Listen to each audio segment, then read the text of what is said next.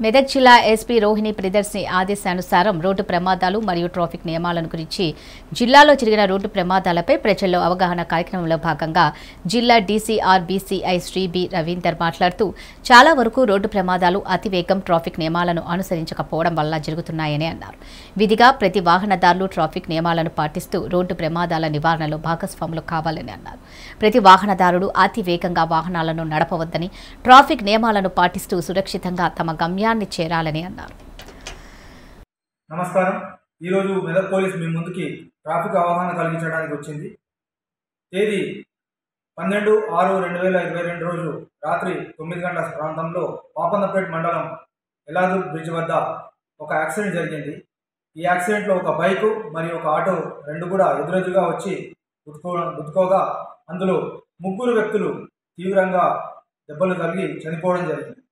దీనికి ముఖ్య కారణం ఏంటంటే బైక్ పైన ముగ్గురు వ్యక్తులు ప్రయాణించడం అందులో చిన్న పాప మూడు సంవత్సరాల పాప బైక్ ట్యాంక్ పైన కూర్చోబెట్టడం ఒకటి పొరపాటు.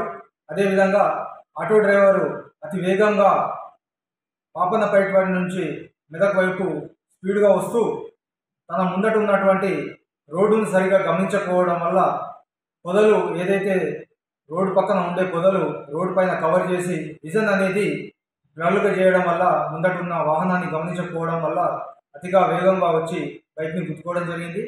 ఇందులో ఆటో డ్రైవర్ మరియు బైక్ పైన కూర్చున్నటువంటి చిన్న పాప మరియు ఆమె తల్లి వెనకాల కూర్చున్నటువంటి తల్లి ముగ్గురు కూడా చనిపోవడం జరిగింది.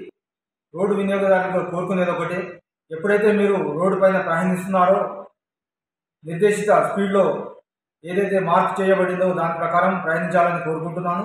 అదేవిధంగా రోడ్డు పైన కొన్ని పొదలు డివైడర్ దాటేటప్పుడు కానివ్వండి యూటర్న్ చేసుకునేటప్పుడు కానివ్వండి రోడ్డుని కవర్ చేసే అవకాశం ఉంటుంది.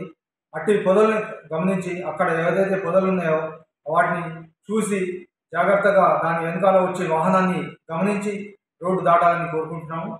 అదేవిధంగా చిన్నపిల్లల్ని ఎవరిని కూడా బైక్ యొక్క ట్యాంకుల మీద కూర్చోబెట్టి అన్సేఫ్గా ప్రయాణించద్దని కోరుకుంటూ ధన్యవాదాలు.